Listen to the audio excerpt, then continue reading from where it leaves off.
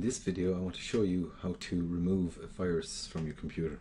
So virus, malware or spyware and even cookies that can cause problems.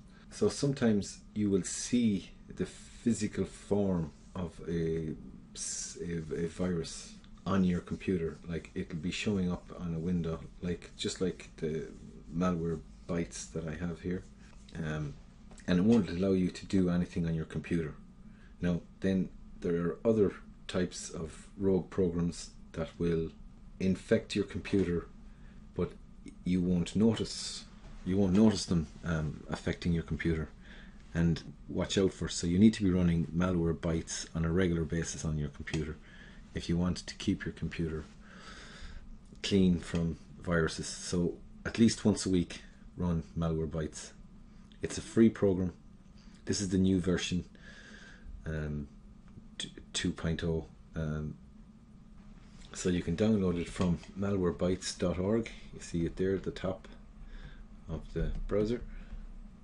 And you can download it from this guy here which is download.cnet.com now it is a very good program at removing viruses but if your computer is infected and this goes for desktops laptops netbooks notebooks um, if your computer is badly infected you will not be able to run any antivirus program until you stop or malware program until you stop the, pro, the, the virus, kill the virus from running on your computer. And the easiest way to do that is to run your computer in safe mode. Now it doesn't always work, but majority of the time I find that it will. So what you need to do is restart your computer and start start the computer in safe mode and the first thing you have to do is make sure that you have a internet cable connected to your computer. Now you can go with the wireless route but sometimes your wireless can be disconnected because of a virus. So be careful. Malware can do it as well. Um, it can actually affect the internet connection. So what we're going to do is I'm going to show you how you, if you have a virus or if you, you, you think that you may have a root kit um, running in the background. It's another type of virus a rootkit um, so what we do is you have to restart your computer and start it in safe mode. So we're going to click restart. And when your computer starts restarts starts to boot, you press F8.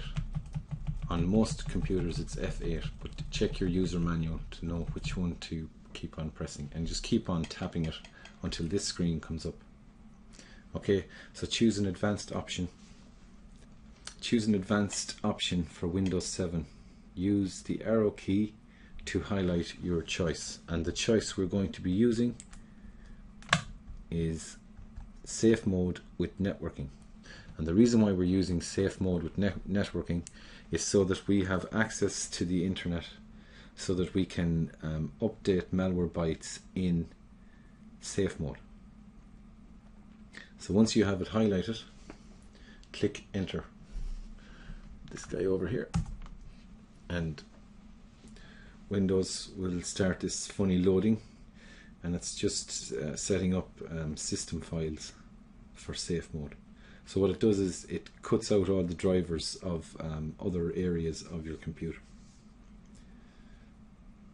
So we just wait until it um, loads there. And you would log in as normal, whatever your login um,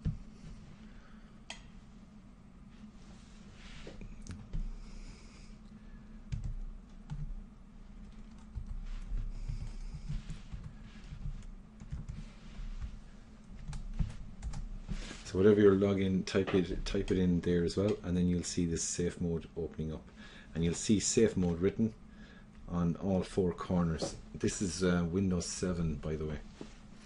And you can go and close that window, Windows Help and Support. You can just close that guy. Now we have access to Malwarebytes in safe mode. So now we can run a scan in here. At this stage, if it's a virus that's making your computer um, un unusable, this will um, keep it, it, it'll stop it from running if you run in safe mode. So what we're going to do now is scan the computer for a virus so you go up here to this is the new version so the old version is just a scan the scan um, but option would be here um, and then just run a scan. So click on scan there. Okay. And then go to scan now which is this green guy down here at the bottom. And we're, what we're doing is you can custom your scan and you can do a hyper scan quickly checks your system for active threats. We want to do a full scan because we have a virus and we want to check and make sure that we um, give it every possible avenue to check so that it can check every area of your computer. So click the scan now button and it will go away and do the scan. Now once you click the scan um, updates are available click updates now to download updates. So this is what I'm saying you need to have your internet connection connected. You can try it as I said in your Wi-Fi or wireless option but you're safer to do it um, by uh, physical cable connect the physical cable to the computer that you're trying to scan for viruses. So we're going to skip update but uh, you should update now. Well, we'll just do the update now anyway. It should be fairly quick. Hopefully.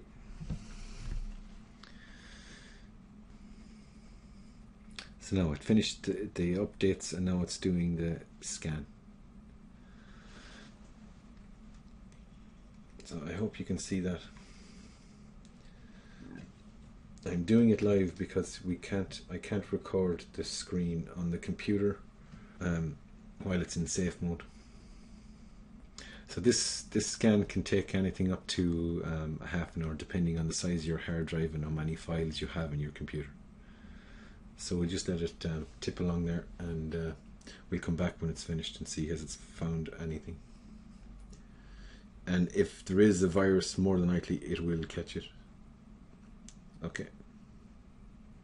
Now, Malwarebytes has just finished running in safe mode and it has found uh, no threats on this computer.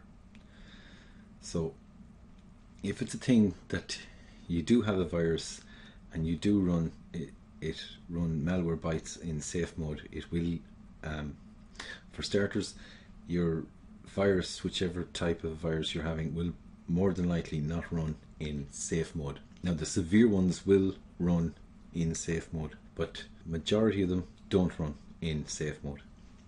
So it's just another method of removing a virus quickly from your computer. You're not sure how to um, use Malwarebytes to remove a virus. I have a video there on my um, YouTube channel that you can uh, look at and it'll show you how to remove the, the actual virus from your computer and you'll probably need to restart your computer also to remove whatever is infecting your computer. So that's it. Um, that's how you would remove a virus from your computer. Now, as I said, sometimes you see the virus, it comes up as, as a, a window on your desktop and it prevents you from doing anything with your computer or it prevents you from opening the internet or you may be able to open the internet but you will possibly not be able to run a browser so um, that's how you uh, remove a virus from a computer. The easiest way I know. Okay, so once you remove the virus, all you do then is you close down uh, all the windows. So all you do then is you uh, shut down the computer and then turn it on again.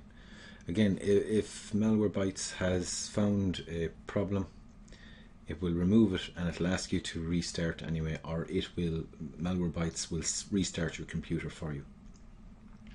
Okay, so you just shut down your computer and restart it. And uh, this is the same sequence that you would use on any um, computer. You'd um, desktops, laptops, netbooks, and notebooks, and even some tablets. I hope this was uh, helpful, and uh, thanks for watching.